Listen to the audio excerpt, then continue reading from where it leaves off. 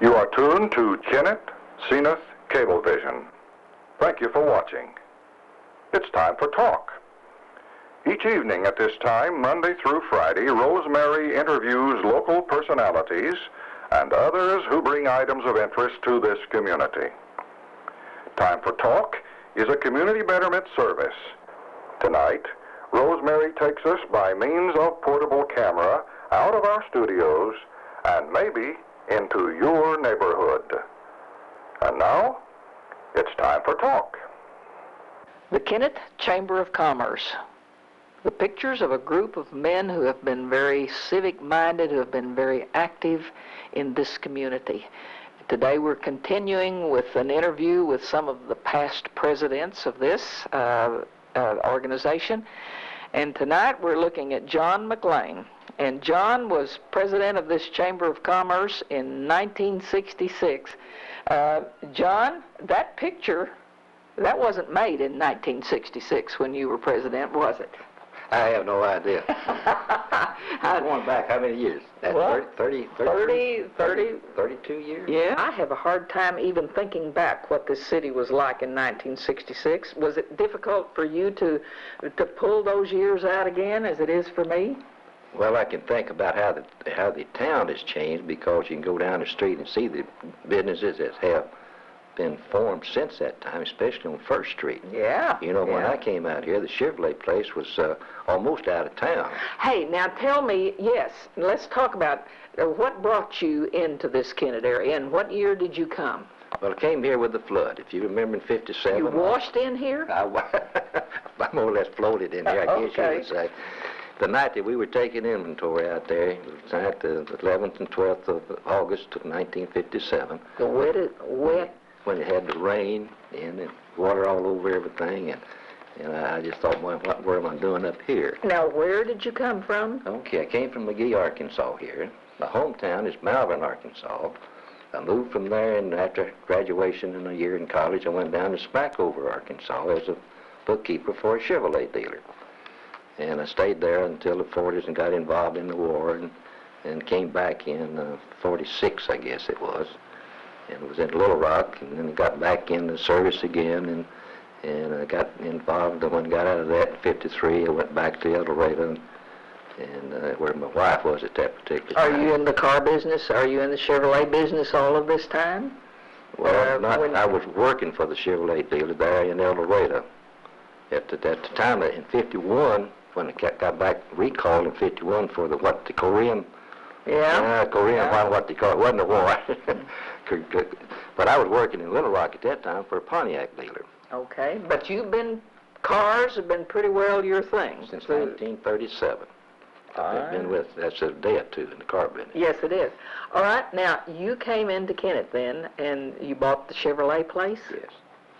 Uh, I was working for a Pontiac dealer in McGehee, Arkansas at that time as a manager, but I always wanted to have one of my own, and, and this place became available. And I heard about it, and I came up here and looked at it one Sunday afternoon with my wife. And it, uh, uh, I went back and talked to this accounting firm that I had known since since 1937. That all they did was uh, did accounting work for automobile dealers, especially Chevrolet dealers. That was their specialty. I went back and I said, Mr. Jones, I can't understand it. There's 38 used car and new car outlets in Kennett, Missouri. I said, man, I don't see how you make a living there. He said, if it's that many people there now that's making a living, what's what I think you can do too. So we did. We came up here with those things. But talk about going into a town with 38, town of 10,000, with 38 new and used car outlets. It was really a shock for me. You know, I wasn't used to that. All right. And Yeah. where was the business now when you bought it? Uh, was it out here where it, uh, Where, where the hospital, where the medical building is Okay. now. It was there at that time. all right. Uh, do I not remember, do I not remember that it was down, At one time, was it down on the, uh, one time, the Chevrolet deal uh, was the Sink Chevrolet. It was right across from the Methodist from the Baptist Church. yeah, where- that's where what, that service station is. that's there. right, that's right. Mr. Cash owned the Chevrolet place out, I mean, the building out where the Chevrolet place was at that time. I see. He had the Dodge and something else, I think, with the deal. But Mr. Sinks had purchased this from the cash, Yes, from Mr. Cash. okay. And I'm- had moved it out there at that time. All right. I'm So- remembering that, I'm remembering a little bit of that early Yes. history then that happened. So you, you kind of washed in with that bad year Sure did. and uh, had a hard time, did you have a hard time that year making ends meet? We didn't. We didn't. Oh, okay, We well, a lot, didn't- of- we a lot didn't of make people ends. didn't make We ends didn't meet. make ends till after the first of the year, when, but I won't say this much about uh, the, the lending institutions at that time knew what trouble the farmers were in, and they helped them. Uh, it, our, our business, National Auto Finance with the GMAC, every farmer that came in and wanted refinancing, they got it. They did not turn down a one. Mm, okay, all I was talking to JR at the Cotton Exchange Bank there, how they did it. The farmers that had loans at that time, they closed them out and started a new program making loans to the farmer. He said they never did lose a dime on those he closed out. And I thought that was wonderful. you know. That's It amazing. was, uh, All right.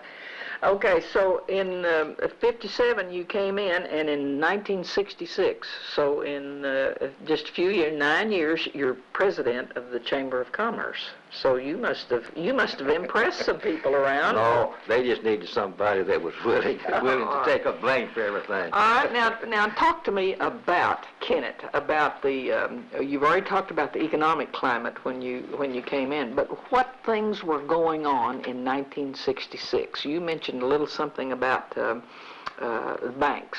Kennett National Bank made an application for their, their charter for a bank here. Okay, now was that in like 66? I don't have any idea. Okay, I don't have any idea what, you, you- like you say, you come in, and, and I didn't call the bank about it.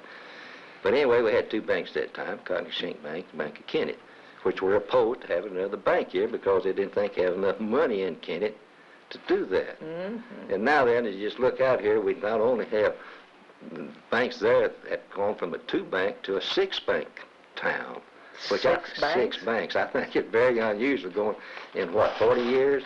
We may get up there with the car dealer, uh, we may have enough, uh, if there's that much, that we may have as many banks as you had car dealers when you... Almost, if they keep on like they're going. Right. Like, like they're going now. All right. Um, now, uh, during your years, uh, did did Uniroyal were, was Uniroyal making plans I don't know whether it was that particular year was president or I was on the industrial committee at that time. But I know that came in, had a fellow came in down and, and, uh, trying to look our town over. And we were to meet with him at a certain time, and sure enough, at that time, he wasn't there. We couldn't figure out what happened, so we waited and waited and called and Now, to this is a this is an executive with Well, I don't know Uniroyal- whether the executive or one of the people they send down to, you know, check a town out where the town wants to come into this or not. Yeah, okay. Check this out, and, and the Chamber of Commerce had had a meeting with him, all those kind of things. But anyway, he had gotten cold stuffy. And he's so stuffy, Snuffy, the not, cab driver. the cab driver. He said, I want you to take me to two places. Number one is the cemetery, and then to the disadvantaged people in this town, where they, where did they live? And he couldn't figure out why he wanted that done, but he says the town, the pride of a town, is shown by the way they take care of the, the, the poor people of the town and the dead people. And I thought that was a very interesting. And incidentally, why he was late, uh, Snuffy had taken him down there where they were trying to raise pickles at that, I mean, uh, Cucumbers. cucumbers that time, and he'd take them down there and show him his cucumber farm. So Snuffy did the tour for this uh, for That's this gentleman he didn't want us around. He, because he said uh, he, he said I know what they would take us to. You know, they take us. Oh yeah. Yeah, said, Well, now that's smart, isn't it? well, that's for this, smart. for this, I think people need to know that. That how they take care of the cemetery and how they take care of the people. We, we do a wonderful job. Uh, there's, I don't think Cape has has any of the low-income uh, housing like we have here in Kennett. Now, it has a disadvantage, but I think the advantage outweighs the disadvantage. All right, and uh, and executives who look at a town, yes, these are the sort of things they look at, That's but they don't always come just to the Chamber of Commerce. No, they they may go to to the cab drivers, to Snuffy, and who better knows this town You than don't know Snuffy who you're talking to. That's right. You never know who you're talking to in regard to an industry coming into a town. Um, you mentioned uh, something to me also about um, the nursing homes uh, uh, uh, problem. We were involved in that, uh, uh, directly involved in, in the piece of property they decided on was outside the city limits of Kennett. And you have to have this uh, industrial board where they can use these bonds that actually the, the town, uh, the city or the county or what it is, presents a bond, but they are not obligated. It's a type of industrial bond where you, although you have to sign them and do all like that, they're not They're not obligated if they're defaulted. that's right, if they Okay, if default, they- the city's not involved in. Well, we had an in the city industrial board, but the property's outside of the city, so they couldn't do it, so we had to form a county industrial board. And Fred Ford was involved in it, Dennis Bacon was involved in it, and then Mr. Clark, I think, up around Holcomb, I know was involved in the thing.